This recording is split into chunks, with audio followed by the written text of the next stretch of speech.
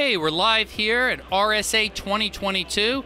I'm Scott Schober, host of Cybercrime Magazine. This is sponsored by SecureWorks. Chris, great to be here with you. Tell us a little bit first. Uh, who are you? And what are you doing at SecureWorks? Yeah, so my name is Chris Lehtinen. I work as an information security consultant at SecureWorks, and this is my first time at RSA. So I'm happy to be here. There's tons of amazing vendors, and uh, it's been it's been a great week so far.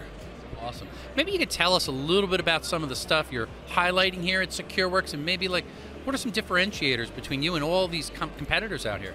Absolutely. So I know enough to be dangerous. I'm not super technical. I'm on the sales side. And one thing that I like to say with SecureWorks and what we are providing with our solution Taegis is it's XDR technology along with managed XDR technology. XDR has been thrown out by a lot of different vendors here at the conference. The way I like to put it in a metaphor is we give you the keys to a Lamborghini, and either we can drive that Lamborghini for you or you can drive it.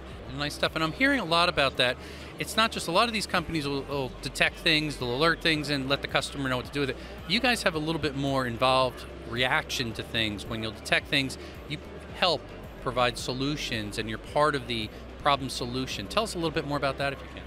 Absolutely, yeah. What's great about us is, yes, we've shifted over to our solution, Taegis, which is automated intelligence mixed with human intelligence. So we have our counter threat unit, and that's like our golden egg of our company. You know, having adversarial uh, testers really going out and beating uh, the hackers that are out there.